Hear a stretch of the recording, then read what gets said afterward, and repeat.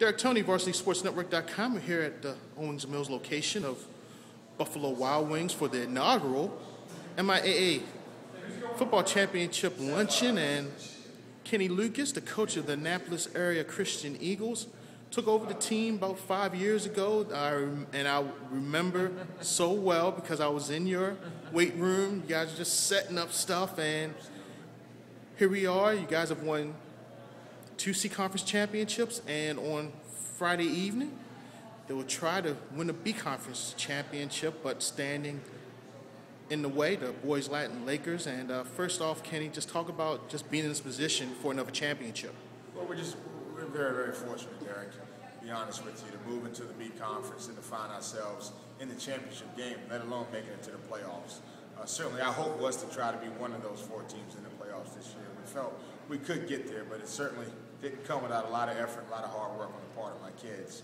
Uh, but yeah, we're you know we're, we're, right now challenged with Boys Latin, and uh, it should be a very good game. They gave us a, a, very good game, I should say, the first time around.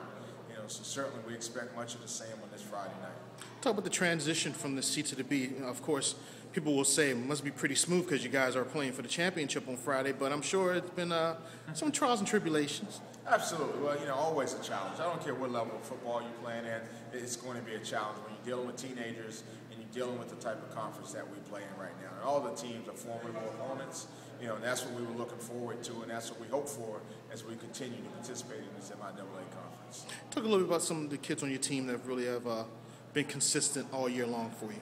Well, there's one kid individual, I think, without going it, Josh McPherson.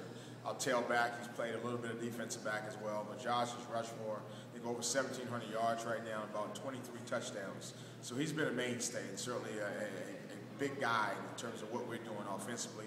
Quarterback, Chris Chick, has, has been a four-year starter, so he's helped to, to really be the glue you know, in between what we've done this year offensively. And then on the defensive side of the ball, we've had multiple guys making plays.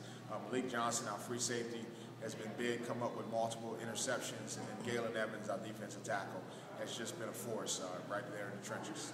Talk about the challenge of uh, facing a boys Latin. You did play them early in the year, I think at AACC, right?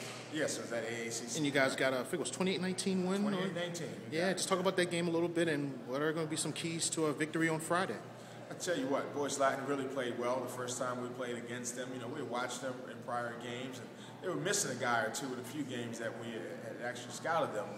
They showed up the night we played them, and I think they actually showed why they're a formidable opponent, opponent in the B Conference and why they've been in this championship game before. And that's the thing we have to remember. They, they've been here before. We haven't.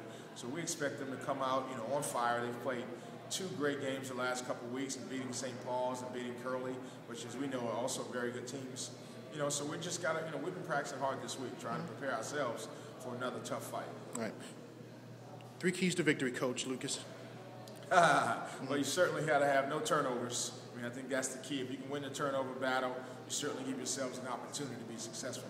We have to score some points, mm-hmm. and we have to prevent the other team from scoring points. Mm-hmm. And it's very simple. It's very. It's a very simple game. it, it really all the X's and O's, all the crosses, and all that is very simple. Win the turnover battle. Don't and score more, more points, points as, a, as your opponent. Absolutely. Kenny Lucas had a great career at Gonzaga down in the D.C. area. He's come over to the Baltimore area and has done a great job at AACS. And Friday evening at 5:30, they will try to win the MIAA B Conference championship, but standing in their way will be the Boys Latin Lakers. For VarsitySportsNetwork.com, I'm Derek Toney.